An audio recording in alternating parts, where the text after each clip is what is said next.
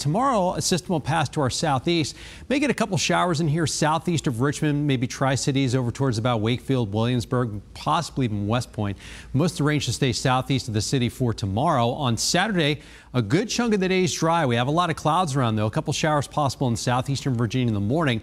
The cold front approaches from the west, and that'll bring in a chance of showers and thunderstorms, but probably not until after about 6 or 7 o'clock.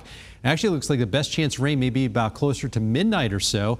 And a few of those showers may linger south and east through about daybreak Sunday, but then those should move on out. So most of the weekend should be dry. The best chance rain is going to be Saturday evening and Saturday night.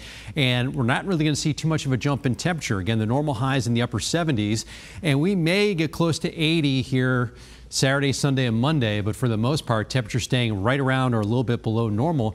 And it's looking like we're going to have a pretty nice week next week. If you have vacation or you have some outdoor plans, it looks like we may string together a few days here of some dry weather. So a little haze in the sky today, a shower southeast tomorrow, and that chance of rain on Saturday, mainly late, more so towards the evening and night period there.